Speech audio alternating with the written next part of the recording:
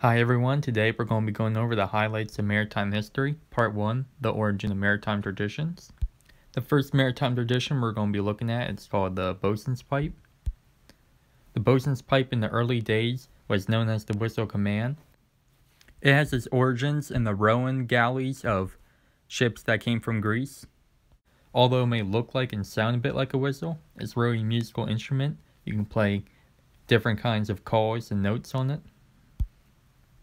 As you can see by the picture, you know, this is a big ship where the rowers have to coordinate.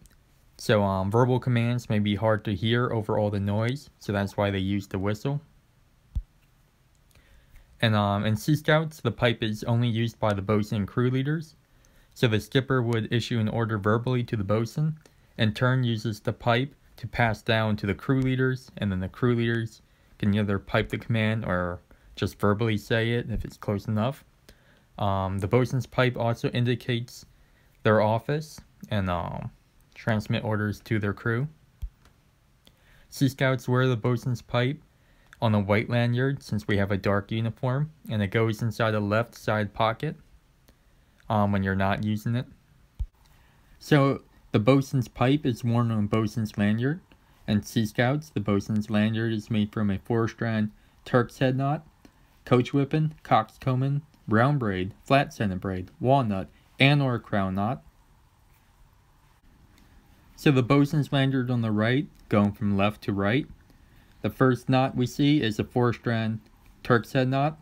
Then we see a couple crown knots, then another four strand Turk's head knot. And the last um, braid you see on the right is a round braid.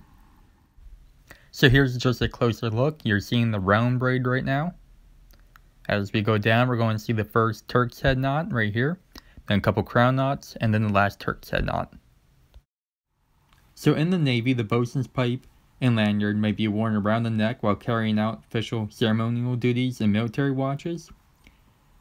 Um, the Navy does not wear them on liberty, and that means when they're on shore leave, they don't wear the bosun's pipe. So in the Navy, same as Sea Scouts, when the bosun's pipe is not in use, it goes into the left pocket.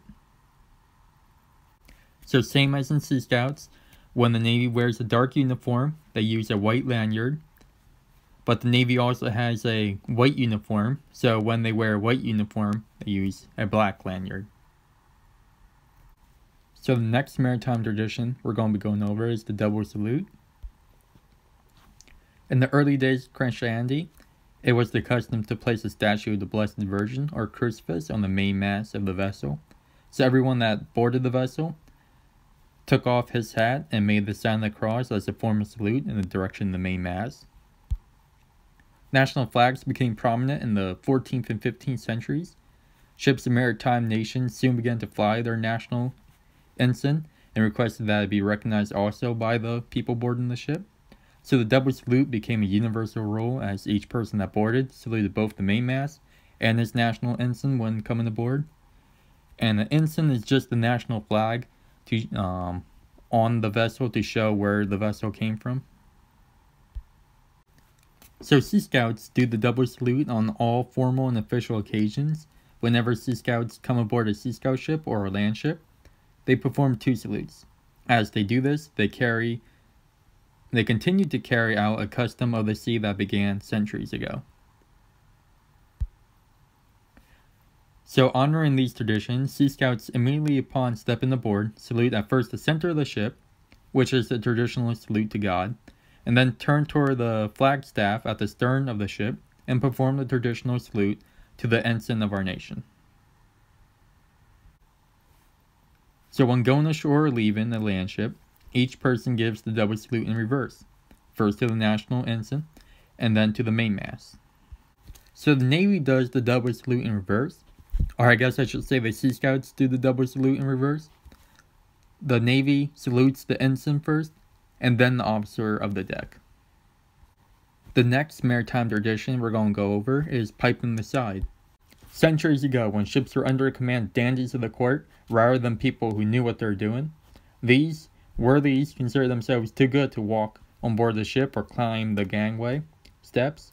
Accordingly, a bosun and a detail of boys were assigned to hoist them on board in a chair. The motions of the chair, as they carefully lifted them and deposited them, all standing on the quarter deck, were controlled by the bosun's pipe with the calls hoist away, lower away, and secure. Here is an example of a gangway. Today, the term side boys is gender neutral and the duties are not as tough. When the ship skipper or other adult arrives at the ship for a formal visit, the honors are rendered. So, like you can see in the photo, um, according to who it is, um, the Sea Scouts line up and salute the person coming aboard, and the bosun whistles the correct calls. So there's um no hoisting the chair involved. So the next tradition we're going to go over is boarding a Sea Scout ship, or any ship really. So when coming aboard a ship, you should ask permission to come aboard. If you're in a group, only the person in charge needs to request permission. And you know, this is like knocking before entering someone's house. It's just a polite thing to do.